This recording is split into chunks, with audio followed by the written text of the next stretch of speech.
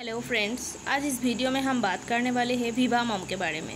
विभा मम एक nutritional powder है और ये पाउडर प्रेग्नेंट वुमेन के लिए है। स्पेशली ये प्रेग्नेंट वुमेन ही इसको यूज़ कर सकती है। और ये एक high protein maternal nutrition supplement है ये। और इसकी कॉम्पोजिशन से protein dietary fibre D H A probiotic haemo nutritions भी है। डी एच ए बेबी का ब्रेन डेवलपमेंट करती है और आई डेवलपमेंट करती है। और प्रोटीन प्रोटीन तो सबको ज़रूरत है, फाइबर है, इसमें प्रोबायोटिक्स है, इसमें iron vitamin B twelve folic acid भी है।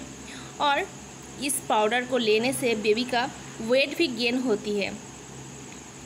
इस पाउडर को लेने से पहले आप ज़रूर डॉक्टर्स की सलाह लीजिए और इसकी यूज़ करने की स्टेप भी बहुत ही इजी है। इसको आप पानी या गर्म दूध के साथ भी इसको खा सकती है।